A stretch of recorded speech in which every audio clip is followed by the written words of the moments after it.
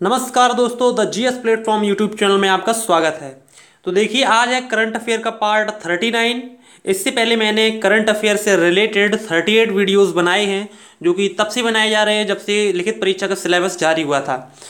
तो आज आपको पता ही चल गया होगा कि लिखित परीक्षा से संबंधित गाइडलाइंस जारी की गई है, यानी कि परीक्षा निश्चित रूप से आयोजित होगी, और जल्द ही इस चीज़ के बारे में आपको सभी प्रक्रियाएँ पूरी करने को मिलेंगी।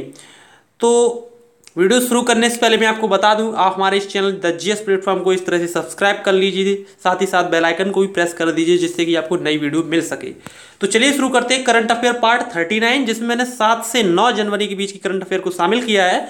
तो चलिए देखते हैं यहाँ पर कौन से क्वेश्चन बनते हैं जो कि इंपॉर्टेंट है, आने आगे आगे आने वाली एग्जामिनेशन की दृष्टिकोण से। तो पहला क्वेश्चन देखिए, तीसरा हाफ़ मैन कप किसने जीता? तो देखिए, तीसरा हाफ़ मैन कप स्विट्जरलैंड देश ने जीता है, यानी स्विट्जरलैंड के खिलाड़ी हैं रोजर फेडरर। उन्होंने तीसरा हाफमैन कप जीता है। ठीक है?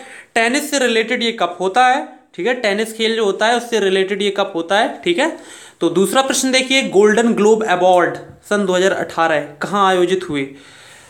तो ये जो गोल्डन ग्लोब अवार्ड हैं, ये फ़िल्म के क्षेत्र में दिए जाते हैं। और गोल्डन ग्लोब अवार्ड का जो 2018 में जो संस्करण था, वो अमेरिका के लॉस एंजल्स में आयोजित हुआ। ठीक है? अमेरिका के लॉस एंजल में आयोजित हुआ है, ठीक है? दूसरा प्रश्न आपका कंप्लीट हुआ। तीसरा प्रश्न देखिए यहाँ पर, नए दस रुपए के नोट में किसका चित्र होगा? तो हाल ही में इस चीज़ की घोषणा की गई है कि दस रुपए के नए नोट में सूर्य मंदिर का चित्र भी होगा, ठीक है? सूर्य मंदिर का चित्र भी होगा। तो ये तीसरा प्रश्न आपका कंप्लीट हो चुका है। चौथा प्रश्न देखिए, गुड़िया हेल्पलाइन किस राज्य में आरंभ होगी?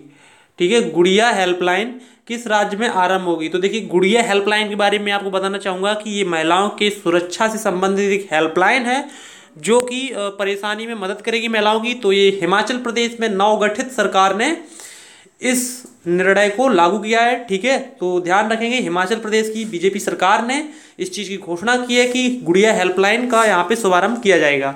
तो ध्यान रखेंगे, पांचवा प्रश्न देखिए, भारत के दिव्यांगों के लिए प्रथम राष्ट्रीय पार्क कहाँ बनेगा?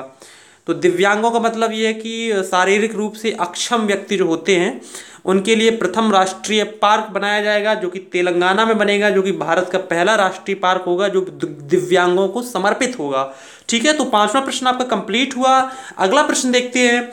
देश का दूसरा एफ़ टी आई आई, यानी film and television institute of India कहाँ बनेगा? तो देखिए दूसरा एफ़ टी आई आई आपका अरुणाचल प्रदेश में बनेगा। इससे पहले मैं आपको बता दूँ कि पहला F T I I Pune में बन चुका है, वो भी चल भी रहा है, ठीक है? तो ध्यान रखेंगे छठवां प्रश्न आपका काफ़ी इंपॉर्टेंट है।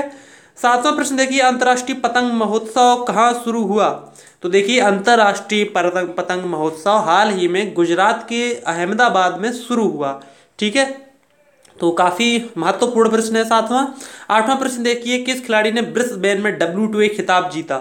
तो ब्रिस्बेन में डब्ल्यू टी ए खिताब एलिना स्वीटोलिना ने जीता है, ठीक है? नवा प्रश्न देखिए, हाल ही में किस राज्य ने अपना प्रतीक चिन्ह का अनावरण किया? अपना एक प्रतीक चिन्ह उन्होंने अपनाया है, ठीक है?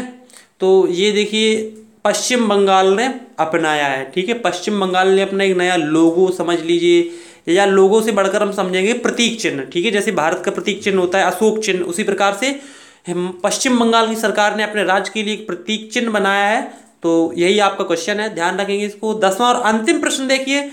महिला राष्ट्रीय मुक्केबाजी चैंपियनशिप का दूसरा संस्करण कहाँ आयोजित किया जा रहा है? तो ये देखिए, हरियाणा में आयोजित किया जाएगा महिला राष्ट्रीय मुक्केबाजी चैंपियनशिप का दूसरा संस्करण। तो ये देखिए रहे आपके दस प्रश्न, जो कि करंट अफेयर से रिलेटेड थे। तो मिलते हैं अगले वीडियो में, जिसमें मैं नौ, दस, ग्यारह या फिर आगे आने वाले दिनों में करंट अफेयर आपको प्रोवाइड कराता रहूँगा। तो उम्मीद है कि वीडियो आपको पसंद आएगा। वीडियो को आप लाइक कीजिए, वीडियो में कमेंट कीजिए और अंत, अंतिम बात यही है कि आप चैनल को सब्सक्राइब करना ना भूलें, साथ ही वीडियो वीडियो को शेयर करना भी ना भूलें। तो मिलते हैं अगले वीडियो में, तब तक के लिए नमस्कार।